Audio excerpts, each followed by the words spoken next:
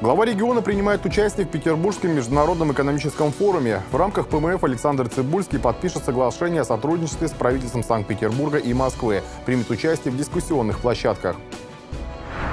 Голова ледохода по реке Большая Печора сохраняется в 10-11 километрах выше Наринмара. По Малой Печоре развивается в 12-10 километрах выше Андига. Современный способ сбора бытового мусора внедряют в Наринмаре. Накануне в окружной столице установили первый заглубленный контейнер. Россия отмечает День славянской письменности. В этом году большой праздник объединил все города нашей страны. Здравствуйте с обзором основных событий этого дня в студии Иван Никонов. В Рио губернатор Ненецкого округа Александр Цибульский принимает участие в Петербургском международном экономическом форуме. В рамках делового завтрака Агентства стратегических инициатив глава региона рассказал о реализации соцпроектов государственного частного партнерства – в качестве примеров Александр Цибульский привел проекты «Красный чем» и «Кочевой детский сад». Также в Рио губернатор Ленинского округа рассказал о проблемах, которые, по его мнению, препятствуют модернизации социальной сферы. Я могу привести маленький пример, с которым я столкнулся, приехав в округ. А, построили прекрасную школу в одном из сельских населенных пунктов и могли два месяца открыть, потому что нам сказали, что напольное покрытие не того, не того оттенка цвета. Я клянусь, вот мы два месяца не могли открыть, дети продолжали учиться в разваливающейся деревянной школе, потому что мы меняли линолеум на полу. Меняли на худшее качество, но правильного цвета. И таких ограничений очень много. И вот эта занормированность всего, каждого шага, который мы делаем, нам сказали, вот ваши полномочия. Мы сказали, хорошо, с благодарностью их взяли. Мы сказали, а вот теперь список из 300 пунктов тех значит, нормативов, которые вы должны соблюдать. Мы говорим, позвольте, мы, может быть, могли бы сделать дешевле и прогрессивнее. Она говорит, спасибо, вы можете делать все, что угодно, но вот 200 пунктов выполните, пожалуйста. И вот это, мне кажется, основная проблема. Я не буду дальше там отнимать время э, присутствующих, но мне кажется, очень важно для нас доводить какие-то лучшие практики, защищенные на федеральных контрольных надзорных э, органах модели, которые мы можем брать как готовые и применять у себя, понимая их специфику. А я уверен, что деньги там, с помощью наших партнеров, частных государственных партнеров, концессиональных, концессиональных СМИ, мы всегда найдем. В рамках Петербургского международного экономического форума в Рио губернатор Ненецкого округа также примет участие в дискуссионных площадках, посвященных арктическому потенциалу и развитию Северного морского пути, созданию умной среды в городах. На площадке ПМФ 2018 Александр Цибульский подпишет соглашение о сотрудничестве с правительством Санкт-Петербурга и правительством Москвы. Также запланировано подписание соглашений между Центральным союзом потребительских обществ Российской Федерации, администрацией Ненецкого округа и Ненецким окружным союзом потребительских обществ обществ. Ледоход в столице Ненецкого округа может начаться в ближайшие 48 часов. По состоянию на 16 часов 24 мая голова ледохода находится в 10 километрах от Наринмара. Об этом сообщает Северное управление по гидрометеорологии и мониторингу окружающей среды. Старая Печора в районе Лабужского и Пылемца полностью очистилась от льда. Наблюдается спад уровня воды. На Печоре ледоход уже прошел в Тошвиске, Хангурее, Каменке, Оксино и Великовисочном. В этих населенных пунктах вода также постепенно убывает. Голова ледохода по реке Большая Печора сейчас в 10-11 километрах выше окружной столицы. На 45-километровом участке от Наринмара до Осколково ледостав с закраинами. Подвижки льда начались в Макарово. На рукаве Малая Печора ледоход развивается в 10 километрах выше деревни Андик. Уровень воды в городецком шаре в районе Наринмара постепенно повышается и по состоянию на 16 часов 24 мая достиг отметки в 3 метра. Напомним, что согласно прогнозам Северного управления по гидрометеорологии и мониторингу окружающей среды, в в этом году уровень воды в районе города во время ледохода может достичь 6-метровой отметки. Неблагоприятная отметка при этом составляет 620 сантиметров, а опасная – 670 сантиметров. В Наринмаре полным ходом продолжается подготовка к паводку. Особое внимание по традиции укреплению защитных дамб. Готовность города к стихии взяли на контроль активисты Общероссийского народного фронта. Подробности в репортаже Тимофея Жукова. Общественники обратились к городским властям с просьбой провести работы по восстановлению дамб, сделать подсыпку грунтом заранее, а не в период половодья. В Нарьянмаре риску подтопления во время весеннего половодья подвергаются сразу несколько жилых микрорайонов. Активисты Общественного народного фронта провели мониторинг антипаводковых дамб, которые и опрос жителей э, микрорайонов э, Качгард, Малый Качгард, Совхоз, Сахалин и выявили те участки, на которых отсутствуют или повреждены те э, те антипаводковые дамбы, которые существуют. Жители данных регионов, ну, данных участков обеспокоены данной ситуацией и обратились в Общественный народный фронт. Большая вода весной для нашего города не редкость, но ее всегда горожане ждут с небольшой тревогой. Мало ли, в зону подтопления могут попасть микрорайоны Качгард, Малый Качгард, Сахалин, Совхоз, Старый аэропорт и поселок Мирный. Все они расположены ниже отметки в 550 сантиметров. В зоне особого внимания ОНФ – Старая Бандарка. Мы, как активисты, обеспокоены той ситуацией, что тот, те участки, которые вот мы озвучиваем, они находятся ниже критической зоны возможного прохождения ледохода. По заверению городских властей, для укрепления насыпей по предотвращению подтоплений в этом году было закуплено мэрией 2000 кубометров песка. В октябре прошлого года была проведена подсыпка в районах Старого аэропорта и переулка Сахалинский, а также по улице 60 лет октября. О готовности города к приходу большой воды представители мэрии доложили на очередном совещании.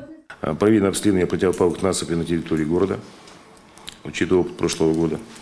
А, приобретено 2000 кубов а, песка, который будет использоваться при необходимости по заявкам населения организаций.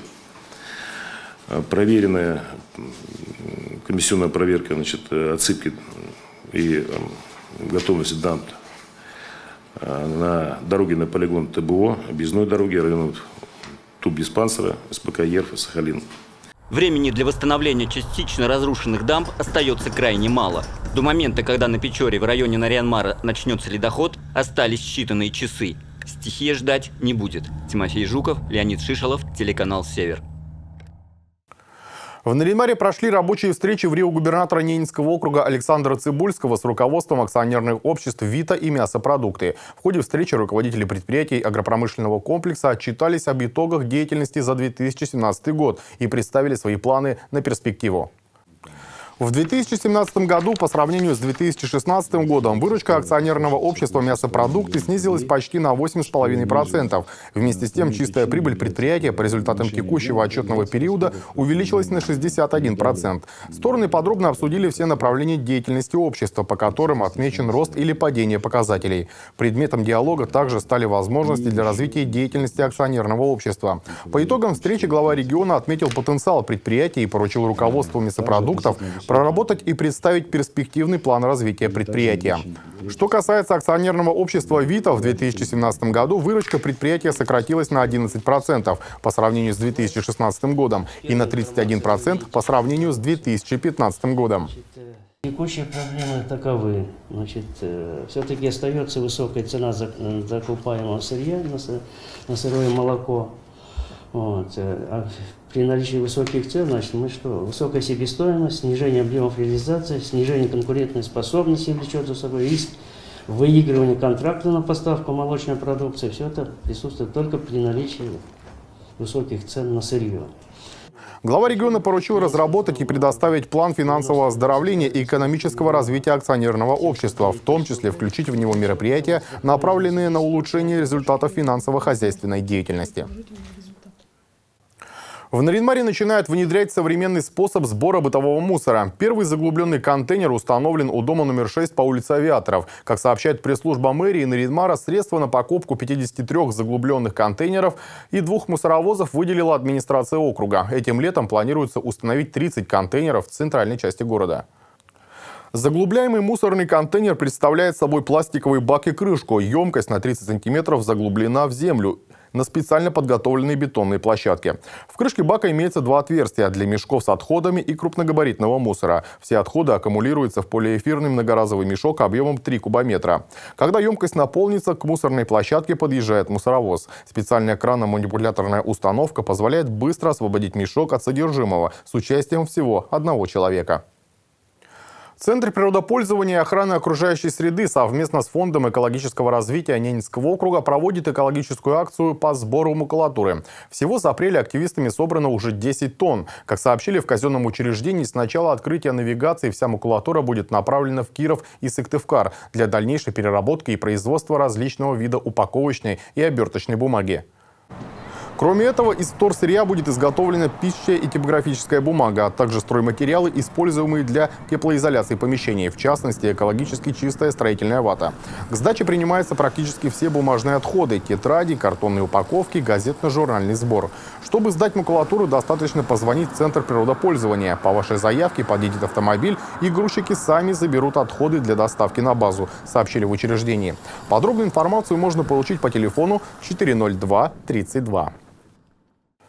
День открытых дверей для потенциальных родителей состоится в Центре содействия семейному устройству «Наш дом» в эту субботу, 26 мая. В прошлом году в рамках Дня открытых дверей дети выступали со сцены, пели, читали стихи, танцевали, демонстрировали свои поделки. Все гости получили консультации относительно процедуры передачи детей-сирот в семью. Формат предстоящего мероприятия будет несколько отличаться от прошлогоднего. Потенциальным родителям расскажут об особенностях воспитания детей-сирот и детей, оставшихся без попечения родителей, о психологии общения с ними, а также покажут фильм о детях, которые готовы к жизни в замещающей семье. Встреча потенциальных родителей с детьми состоится после консультации. В этом году в рамках мероприятия впервые состоится конкурс приемных семей «Счастливы вместе». Завершить день совместное чаепитие с выпечкой, приготовленной руками воспитанников центра. Как рассказали в профильном департаменте, в Ненецком округе из года в год прослеживается положение положительная динамика по устройству детей-сирот и детей, оставшихся без попечения родителей, в замещающие семьи. Так, по состоянию на 1 мая текущего года в центре «Наш дом» находится 62 ребенка. В прошлом году в аналогичном периоде на содержании в учреждении находились 76 детей. День открытых дверей проводится в учреждении ежегодно. 24 мая в России отмечается День славянской письменности и культуры, он же День святых Кирилла и Мефодия. В этом году большой праздник объединил все города нашей страны. В час дня по московскому времени от Владивостока до Калининграда одновременно начались концерты. Центром торжеств стала Красная площадь, программу которой дополнили прямые включения из Белгорода, Екатеринбурга и Нижнего Новгорода. Не остался в стороне и наш Заполярный округ.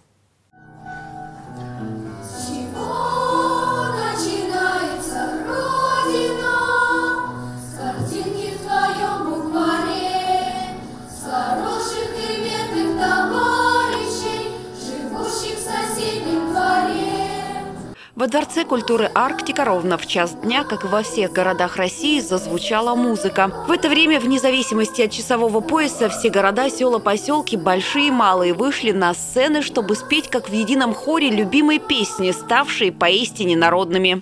Это единственный в России, в нашей стране церковно-государственный праздник. Прежде всего, мы, это дань памяти святым Кириллу и Мефодию, которые в далеком IX веке создали славянскую азбуку. Сегодня это еще и праздник культуры, традиции, родного слова, книги, День славянской письменности и культуры отмечают не только в России, но и других странах. Ведь созданная Кириллом и Мефодием азбука стала основой для письменности на белорусском, болгарском, македонском, сербском и украинских языках. Трудами Кирилла и Мефодия гордятся по всему миру. За вклад святых в культуру Европы папа Иоанн Павел II в 1980 году объявил их покровителями Старого континента. Этот день традиционно объединяет многие народы, ведь сотни миллионов человек во всем мире пользуются кириллом кириллицы и хотя говорят на разных языках, понимают друг друга без перевода. Любовь Пермякова, Леонид Шишелов, телеканал «Север». Акция «Библия ночь-2018» вновь соберет гостей окружной столицы. «Библия ночь» опустится и на сельские библиотеки. Мероприятия пройдут более чем в 30 населенных пунктах округа. В поселках Бугрино, Индиго, Искателей, Красная, в деревнях Верхняя Пеша, Лабужская и других. 25 мая с 18 часов до 23 часов всех читателей и гостей Ненецкой центральной библиотеки имени Печкова ждет увлекательное путешествие в мир слов. Добро пожаловать в страну языкознания. Различные выставки, мастер-классы, а также интеллектуальная игра «Что, где, когда». Сюрпризы будут. Приходите, кроме традиционных литературных викторин, книжных выставок – традиционные уже игры «Что, где, когда». Будет и турнир игр северных народов, и мастер-классы по, и с использованием японских техник, конкурс чтецов стихотворений Андрея Дементьева. Ну, а совсем тоже главные секреты я не буду раскрывать. Акция «Библия ночь» – ежегодное масштабное событие в поддержку чтения. В эту ночь библиотеки, музеи, галереи, книжные магазины, арт-пространства и клубы по всей стране открывают свои двери для посетителей сверхобычного времени работы. Мэрия предлагает городским предпринимателям открыть в окружной столице летнее уличное кафе. По мнению специалистов, точка общепита может разместиться в районе морского порта, как раз там, где пристают пассажирские суда. Пока желающих заняться этим проектом не нашлось, однако новинки в сфере уличных услуг этим летом все же планируются. С подробностями моя коллега Людмила Сидейская. Как только в окружной столице потеплеет, в центре города появятся традиционные уличные развлечения. Уже несколько лет подряд здесь открывают прокат гироскутеров и детских машинок. На Арбате торгуют попкорном и сладкой ватой. В этом году администрация Наринмара предлагает бизнесменам открыть еще и уличное кафе. Предприниматели изъявляли желание организовать вот именно летнее кафе, э, но по объективным причинам все-таки мы видим, что таких кафе у нас так ни разу и не было. То есть вот намерения у предпринимателей были, и мы предоставили место. Это в районе Городецкого шара, у морпорта. А, но вот, к сожалению, результата пока нет. Речь идет о территории, где причаливают речные суда. В мэрии считают, что это было бы очень удобно для тех, кто встречает или провожает пассажиров. Чтобы открыть летнее кафе в этом районе, по мнению предпринимателя Ильи Кадикина, Первым делом надо просчитать поток людей. Я очень давно в морском порту э, был, и насколько бы мне это было интересно.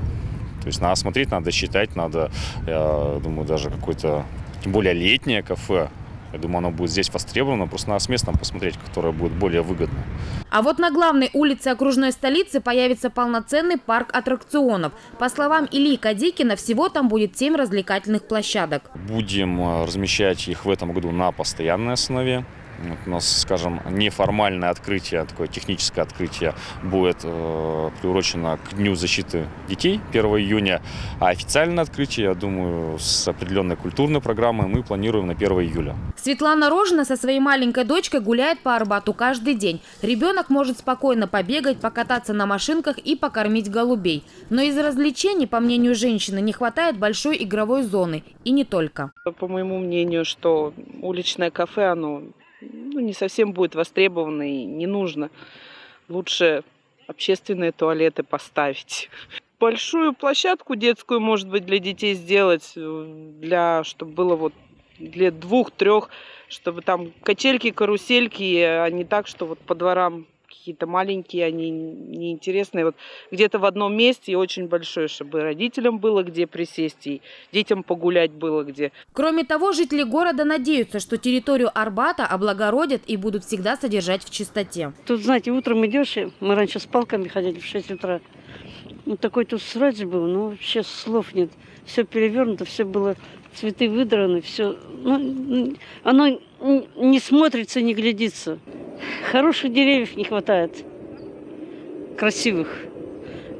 Посадили бы одни березки. С этой стороны ведь садили раньше. Территорию для расположения объектов уже определили. На площади Ленина и Марацей будут аттракционы, а пешеходную зону по улице Смедовича отведут для торговли. На сегодняшний день уже с тремя предпринимателями подписаны необходимые договоры, где обязательно указан тот вид деятельности, которой будут заниматься бизнесмены. Соблюдать правила, э, ну понятно, что закон о правах потребителя и санпины, да, это э, одно, скажем так, направление, то при организации аттракциона здесь помимо всего этого он должен еще и обеспечить безопасность детей при эксплуатации таких объектов. Поэтому в предмете договора у нас четко разграничено. Либо это аттракционы, либо это вот объекты торговли. И, соответственно, требования выставляются соответствующие. На сегодняшний день прием заявок на бесплатное размещение торговых объектов продолжается. Так что у предпринимателей еще есть возможность поучаствовать в создании развлекательного досуга в центре окружной столицы, в том числе и уличного кафе.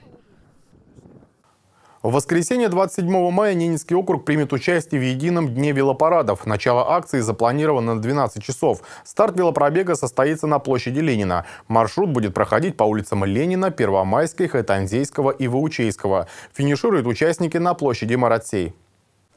В рамках велопарада Департамент образования, культуры и спорта и региональный центр молодежной политики проведет конкурс среди участников на определение лучших в номинации «Велостиль» и «Велосемья». Как отмечают организаторы, участников будут оценивать по ряду критериев. Для номинации «Велостиль» значение будет играть оригинальный ярко оформленный велосипед и велосипедист. Велосемью выберут по единообразным, оригинальным, отличительным элементам оформления костюмов или велосипедов всех членов семьи. Подведение итогов конкурса и награждение победителей в номинациях состоится по окончании велопарада. К участию в мероприятии приглашаются все желающие обладатели велосипедов. И на этом все. Новости вы можете увидеть и на нашем сайте адрес trksевер.ру. Далее смотрите прогноз погоды.